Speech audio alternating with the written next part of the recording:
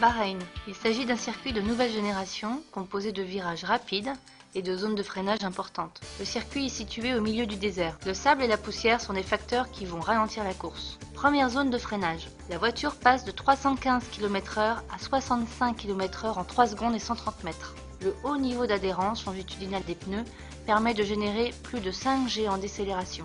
Les virages 5, 6 et 7 sont des points clés du circuit. Il est important de ne pas dévier de la trajectoire et de rester sur la partie propre de la piste.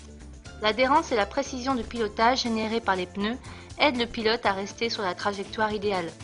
Les virages 11 et 12 sont pris en enchaînement rapide à 250 km/h. Le sable déstabilise l'adhérence et la tenue de route de la voiture. Le grip des pneus combiné à la charge aérodynamique empêche la voiture de partir en glisse et amène les équipes à trouver les meilleurs réglages. Les fortes températures et la présence de sable sur la piste ont amené Pirelli à fournir les pneus médiums et tendres qui assurent le meilleur compromis entre adhérence, performance et durabilité sur ce type de circuit.